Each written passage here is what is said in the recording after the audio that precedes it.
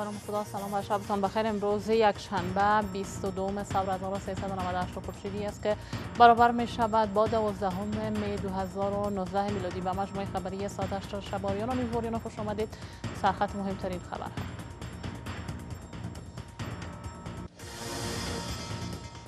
نگرانی از به قدرت رسیدن طالبان پس از خروج نیروهای خارجی. ایالات متحده باید پیش از خروج نیروها اطمینان حاصل کند که حکومت افغانستان با ثبات است و خروج نیروها می تواند یک خطر واقعی باشد. نبود تصمیم طرفین درگیر جنگ بر آتش بس در روزهای عید چون این طرح فعلا بر ما مواصلت نورزیده ما در حال که آرزو به اصول داریم اما فعلا با یک جنگ با طالبان مشغول هستیم و حمله مهاجمان بر یک هتل پنج ستاره در پاکستان.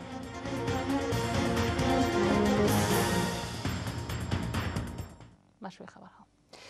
احتمال به قدرت رسیدن طالبان پس از خروج ناگهانی نیروهای امریکایی از افغانستان وجود دارد. وزیر دفاع پیشین امریکا با تاکید به این موضوع می‌گوید دولت امریکا باید پیش از خروج نیروهایش از افغانستان از ثبات در این کشور اطمینان حاصل کند. در همین حال برخی از آگاهان بدین باور هستند که خروج ناگهانی نیروهای خارجی عواقب خطرناک به دنبال خواهد داشت. روح اندیشمند گزارش می‌دهد. آمریکا و طالبان شش دور مذاکره کردند. مذاکرات هم روی چگونگی و زمانبندی خروج نظامیان آمریکایی از افغانستان متمرکز بود. در دور ششم حتی گفته می شود که دو طرف روی زمانبندی خروج نیروها هم به توافق رسیدند اما چیزی از جزئیات توافق تا کنون رسانه‌ای نشده است. رابرت گیتس وزیر پیشین دفاع آمریکا هم از خروج ناگهانی نیروهای آمریکایی از افغانستان و پیامدهای ناگوار آن هشدار می دهد. ایالات متحده باید پیش از خروج نیروها اطمینان حاصل کند که حکومت افغانستان با ثبات است و خروج نیروها می تواند یک خطر واقعی باشد. این مقام پیشین نظامی آمریکا نگرانی های هم از بابت حقوق زنان پس از خروج ناگهانی نیروهای آمریکایی از افغانستان دارد. اگر ما از افغانستان خارج شویم و دولت افغانستان به تنهایی خودش گذاشته شود تنها در مورد نتایج آن در مورد خانم و دخترهایی که به مکتب می روند فکر کنید ما این کشور را به دست طالبان می سپاریم که دوباره به سالهای 1999 یا 2000 برمیگردد. شماری آگاهان بدین باورند که چنین گفته ها می تواند از بحر فشار بر حکومت افغانستان برای کوتاه آمدن در گفتگوهای صلح باشد. اول خو امریکایي چارواکي څه په خواني څه اوسنی دا کوي غواړي خلک غلط کی چې گویا موږ له افغانستان نه وځو. او په دې ډول غواړي چې فشار راوړي په ما اذهانو د افغانانو او د افغان سیاستوالو. زه دا وایم چې امریکا له افغانستان د ورتو اراده نه لري. به تازگی یک منبع بر طرز گفته است که ترامپ دستور هزینه حدود 600 میلیون دلار از جنگ افغانستان را به دیوار مکزیک داده است که خود نشانگر خسته شدن آمریکا از جنگ افغانستان است. حکومت افغانستان و گروه طالبان تا کنون تصمیم برای برقراری آتش بس در روزهای عید فطر ندارند. سرپرست وزارت امور داخله میپذیرد که در دولت تا کنون پیشنهاد و حرف درباره اعلام آتش بس حداقل در روزهای عید مطرح نشده است. گروه طالبان هم تایید می کنند که در رهبری این گروه هیچ گونه بحث روی آتش بس و توقف جنگ وجود ندارد. منابع نزدیک به طالبان می‌گویند که این گروه تا هنگام توافق بر سر بیرون شدن نیروهای خارجی از افغانستان آتش بس دراز مدت نخواهند کرد. اما مردم خواستار توقف جنگ در ماه رمضان به حداقل برای روزهای عید اند. باعث حیات گزارش می‌دهد. آتش بس در راه است یا نه؟ انتظار می رفت که در گرمای مذاکرات سال بین آمریکا و طالبان روی آتش بس هم دو طرف به توافق برسند. اما بارها مذاکره نتوانسته برای مدت کوتاه هم که شود جنگ را توقف دهد. در ماه رمضان که آتش بس نشد. اما در روزهای عید چی؟ حکومت افغانستان حاضر نیست که اعلام آتش بس یک جانبه کند. تا اینکه گروه طالبان با حکومت مشترک روی آتش بس ریزنی نکنند. چون این طرح فعلا بر ما مواصلت نورزیده. ما در حالی که آرزو به اصل داریم اما فعلا با یک جنگ با طالبان مشغول هستیم و تمام روز عملیات ها داریم که اینا را سرکوب کنیم. گروه طالبان نیز چشم انداز آتش بس را در ماه رمضان و حتی روزهای عید تا اکنون ندارد. طالبان نه تنها در مذاکرات دوحه حاضر بر رایزنی در این باره نشدند بل به گفته سخنگوی این گروه در رهبری آنان نیز بحث آتش بس مطرح نشده است. اول خب ما فکر نمی کنیم که یه آتش بس شود اگر شو هم چندان پایده نداره. یک دو سی روز چهار روز اگر آتش بس باشه یا نباشه معنی نداره در قطنامه 23 مادهی لوی جرگی مشورتی سال یکی از درشترین خواسته ها اعلام آتش بس از سوی حکومت و گروه طالبان بود اما ظاهرا حتی برای کوتاه مدت هم دو طرف تصمیم اعلام آتش بس ندارند امیدوار هستم که ما به این نقطه برسیم که یک مرحله اول است که در فضای آتش بس و در فضای آرامش ما می‌تونیم گفتگوهای مؤثر آغاز بکنیم. مردم ما چی می‌خواهند؟ در ماه مبارک رمضان و در ایام عید سعید فطر بسیار مهم است که هر دو طرف که در دیر جنگ هستند بعد اینا آتش بس بکنن. باید است که اول آتش بس شود که بین مردم یک ششت برخواست شود در نزدیک به دو دهه پسین تنها افغانستان در سال پار برای سه روز گواه آتش بس بین گروه طالبان و حکومت افغانستان بوده. آن هم در روزهای اکنون اما عملیات خالد حکومت و عملیات الفتح طالبان با چشم انداز سرکوب گرایانه یکدیگر به شدت ادامه دارد. به حرفی از آتش بس مطرح نیست. زیا یفتلی رئیس پیشین صحت وزارت دفاع و نه عضو بخش تدارکات وزارت دفاع به شش ماه حبس تنفیزی محکوم به مجازات شدند. رئیس مرکز عدلی و قضایی این حکم را در اتهام به اختلاس بیشتر از 17 میلیون افغانی در خرید کپسول آنفلانزای خوکی و دیگر وسایل طبی صادر کرده است. اما وکیل مدافع زیا یفتلی و نه تن دیگر فیصله مرکز عدلی و قضایی را در رابطه به این پرونده قناعت بخش نمی‌داند. دیانا صمدی با بیشتر. اینجا دادگاه استینافی زیا یفتلی رئیس سابق بخش صحت وزارت دفاع و نوتن از اعضای تدارکات این وزارت در مرکز عدلی و قضایی علنی شد. دادستان معذف این پرونده آقای یفتلی و نوتن از اعضای تدارکات وزارت دفاع را متهم به اختلاس بیش از 17 میلیون افغانی در خرید کپسول های انفلونزای خوکی و دیگر تجهیزات طبی می کند. رئیس از وقت جنرال زیای افتری در مکتوب 21 15 مورخ 15 11 13 88 شخصا تذکر داشته که متحد که متحد شرکت افغان کارما ادویه را به تاریخ 29 9 13 88 اکمال نموده است. که جیران فرق بیانگر سازش با شرکت متحد و سوء استفاده صلاحیت وظیفه‌ای می باشد. اما وکیل مدافع زیا یفتلی و نوتن از اعضای تدارکات وزارت دفاع هر نوع اتهامات را در برابر آنان آری از حقیقت می داند. این که ادعا شده که گویا ادویه را بعد از ختم شیوع مرض انفلونزای خوگی به تیفو تسلیم داده شده یک ادعای مجرد و آری از حقیقت بوده زیرا ادویه متذکره بنا بر ضرورت عاجل و غرض جلوگیری از یک فاجعه انسانی بعد از طی مراحل قانونی خریداری و در, و در ظرف ده یوم تسلیم اردو ملی می شود. سرانجام دادگاه مرکز عدلی و قضایی این متهمین را به شش ماه حبس تنفیزی محکوم کرده است. شدیدترین مجازات که مدت شش ماه حبس تنفیزی می باشد از دار حکم هازا بالات قابل تطبیق می باشد و طبق فقره دو ماده 48 قانون جزا و رد مبلغ 17 میلیون 220 هزار افغانی تر تضامن علیه شما متهمین فوق ذکر اصدار حکم نمودیم اما وکیل مدافع آقای افتلی و نه تن دیگر حکم محکمه را قناعت بخش نمی‌دانند. موکلین هم در دو محکمه قبلی برایت حاصل کرده بودند نسبت عدم موجودیت دلایل کافی الزام بنان حکم محکمه استناف جرایم سنگین غیر منصفانه غیر عادلانه استوار به حقایق نبوده 140 هزار کپسول و واکسین انفلونزای خوکی چند سال پیش وارد افغانستان شد تا به وزارت دفاع سپرده شود که هزینه واکسین در آن زمان 30 میلیون افغانی گفته شده بود که از این میان 17 میلیون افغانی در خرید کپسول اختلاس شده است.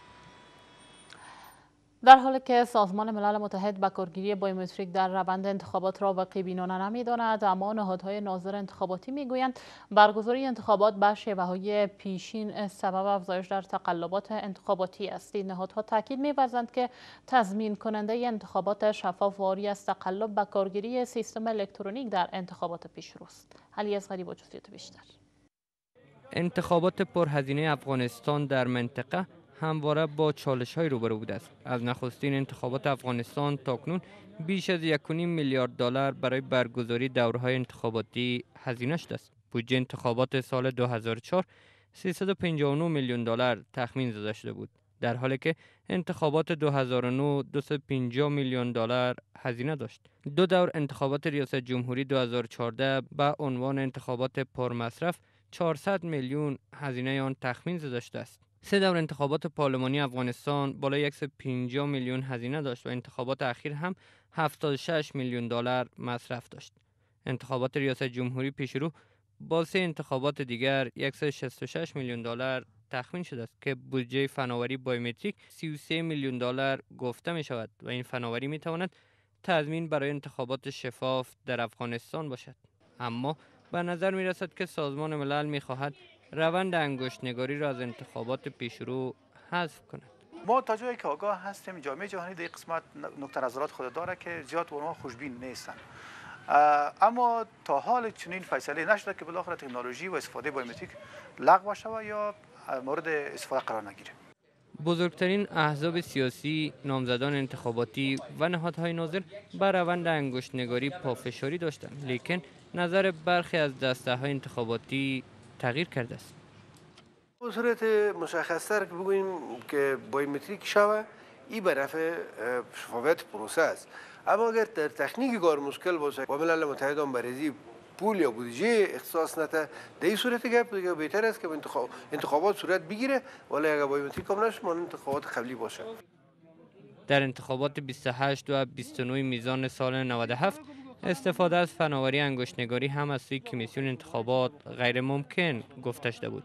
اما با, با فشاری های احزاب در روزهای نزدیک به انتخابات این فناوری وارد افغانستان شد. نتایج آن با گذشت شش ماه هنوز به گونه کامل اعلام نشده است. در پنج سال گذشته بیش از 90 هزار رویداد جنایی در کشور رخ داده است. سرپرست وزارت امور داخله می‌گوید هرچند نواقص و مشکلات در مبارزه با جرایم جنایی وجود دارد اما با عملی شدن راهکار جدید این راهکار جدید این نهاد جرایم کاهش یافته و با مجرمین برخورد جدی خواهد شد. در همین حال شماری از شهروندان کشور از پلیس خواستار عملی شدن پیشنهادهایشان در مبارزه با مجرمین جنایی اند. خالد نیکزاد این گزارش را تهیه کرد.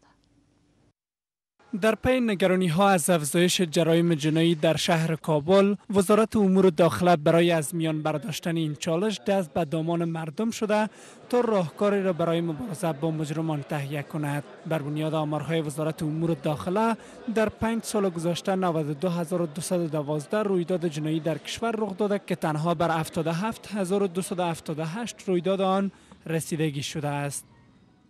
قتل سرقت اختطاف سرقت های مسلانه و غیره جرایم گردیده که در پایوند به قضایای کشف شده. به تعداد 114989 تن مزدونین دستگیر و به پنجه قانون سپرده. هوشواری یک دفعه دهی غار میدره یک دفعه دهی غار میدره یک دفعه دهی غار میدره یک دفعه ده تا دهی غارا میدره پلیس شب روز بالای گروپا کار می‌کنه. پلیس داری هم هم ظرفیت داره هم امکانات تکنیکی داره. نمایندگان اقشار گوناگون جامعه در نشست دروزه پیشنهادهایشان را برای چگونگی مبارزه پلیس با جرایم جنایی به وزارت امور داخله ارائه کردند. آنان نگرانی دارند که بلند رفتن گراف جرایم جنایی زندگی را برایشان تنگ ساخته و پیشنهادهایشان باید عملی شود. جرایم قتل بعضا دیده میشه جرایم اختطاف دیده میشه دزدیات دیده میشه که این جرایم واقعا نگران کننده است. باید پلیس مکلف است که امی پیشنهادات انتقادات امی شهروندان شهر کابل باید عملی کنه به باور شهروندان اگر جلو جرایم جنایی در کشور گرفته نشود این محزل به تهدید جدیتر از عراس افغانی مبدل خواهد شد. طالبان مسلح معاون عملیاتی ریاست امنیت ملی بغلان را صبح امروز به گلوله بستند. یک منبع امنیتی که نمی‌خواهد از او نام برده شود می‌گوید که عبدالغفور معاون عملیاتی یا اپراتیفی ریاست امنیت ملی بغلان صبح امروز در ساحه کیلگه ولسوالی دوشی از سوی طالبان مسلح هدف قرار گرفته و جان باخته است. به گفته منبع این رویداد زمان رخ داده که آقای غفور به سوی کابل در حرکت بوده و موتر حاملش هدف تیراندازی قرار گرفته است.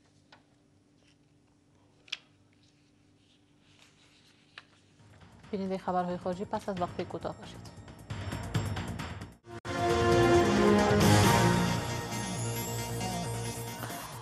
توجه کنید به چند خبر کوتاه از جهان. مهاجمان بر یک هتل پنج ستاره در پاکستان حمله کردند. گزارش ها که از آن است که سه فرد مسلح به یک هتل پنج ستاره در شهر گوادار در ایالات بلوچستان پاکستان حمله کرده و با نیروهای امنیتی درگیر شدند. مقام های امنیتی در بلوچستان گفتند که بیشتر مهمانان مقیم در این هتل از محل نجات داده شدند. گزارش ها که از بروز تلفات در نتیجه این درگیری هاست اما هنوز آمار مشخصی در اختیار رسانه ها قرار نگرفته است.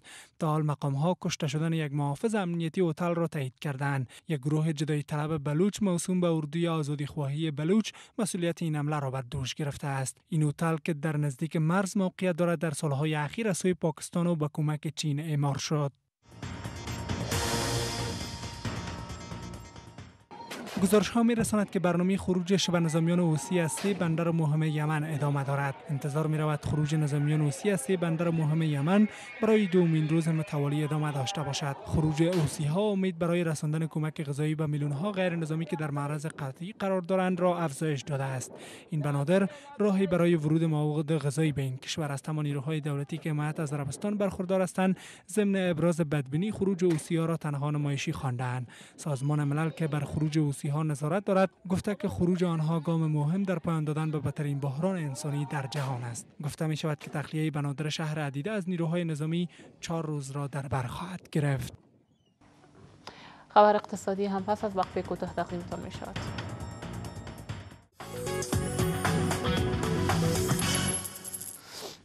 دوباره خوش آمدید. بودجه توسعه حکومت به گونه میانگین سالانه از 41 تا 60 درصد در جریان عملی شدن تغییر می کند. اعضای دیدبان شفافیت افغانستان می‌گویند تنها در سال مالی جاری بودجه توسعه افغانستان دو بار و بودجه عادی یک بار تغییر کرده است و این تغییرات زمینه را برای دستبرد و سودجویی اعضای مجلس نمایندگان و مقامهای حکومتی فراهم کرده است. سمی جهش گزارش می‌دهد. نهاد مشارکت جهانی بودجه با نهادهای مدنی و برخی از کشورها تغییرات بودجه 23 کشور جهان مشمول افغانستان مورد پژوهش قرار داده و پنج بخش را برای کشورها معیار قرار داده است. از این میان افغانستان با تغییرات 41 تا 60 درصد بودجه توسعه در سال جاری مالی در بخش سیوم یا وضع نامناسب این پژوهش قرار گرفته است. دیدبان شفافیت با ابراز نگرانی می‌گوید این تغییرات از بهر منافع شخصی مسئولان حکومتی و نیز اعضای مجلس نمایندگان که تصویب بودجه را به دوش دارند انجام شده است. و اگر این وضاحت وجود نداشته باشه به معنای ازی است که حکومت به مردم پاسخگو نیست. در مورد کارکرد خود شفاف نیست. و اینجا زمینه مساعد میشه برای سوء استفاده اینجا زمینه مساعد میشه برای از که حکومت منابع را به اساس نه به اساس وعده های خود برای بر مردم بلکه به اساس منافع سیاسی خود را مصرف کنند. نهادهای عامی از حقوق بانوان نبود سهم بانوان را در تعیین بودجه و نیز هزینه نشدن بودجه را که برای رفع نیازمندی بانوان اختصاص داده شده بود از عوامل بنیادی به اعتباری شهروندان به ویژه بانوان نسبت به تعهدات حکومت می‌دانند. خواستهای خانم ها شنیده میشه اما او را در بودجه درک نمی‌کنه ای خودش بودجه که به میان میه بودجه معتبر نمی باشه. اما وزارت مالیه می‌گوید تغییرات وارد شده در بودجه سال مالی را نظر و قانون بودجه کشور حتمی می‌دانند. بودجه ملی افغانستان یک سند قوی حقوقی و به اساس نیازمندی های مردم می باشد هر تغییری که در نویت تطبیق و یا مقدار بودجه به میان میاد به اساس قوانین و به اساس مشاوره با ارگان های زی داخل می باشد هیچ گونه پودکاری و یا سوء استفاده در سند بودجه ملی افغانستان امکان ندارد اعضای دیدبان شفافیت افغانستان تاکید می‌ورزند که همه سال ارقامی را که حکومت در مورد بودجه به نشر میرساند غیر واقعی بوده و بیشتر پروژه ها نیز از عملی شدن باز میماند. توجه کنید به نقش شمار وسار خارجی در برابر پول افغانی در بازارهای کابل.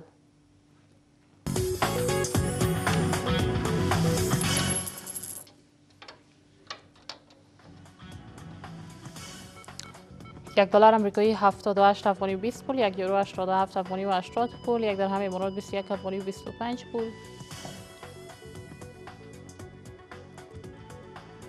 هزار تومان ایرانی 5 افغانی و 30 پول هزار روپی پاکستانی 541 افغانی و هزار روپی هندی 1100 افغانی.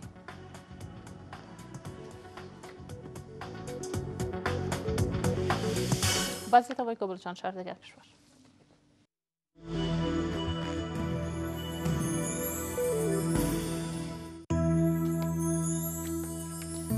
کابل آفتابی بلندترین درجه حرارت 28 پنترین 13 هرات نیم آفتابی بلندترین درجه حرارت 31 پنترین 7 مزار شریف آفتابی بلندترین درجه حرارت 35 پنترین 16 جلال آباد نیم آفتابی بلندترین درجه حرارت 36 پنترین 21 قندهار نیم آفتابی بلندترین درجه حرارت 35 پنترین 21 غزنی نیم آفتابی بلندترین درجه حرارت 24 پنترین 10 تشکر از همراهیتان. با مجموعه خبری سر شب خوش خدا. نگهدار.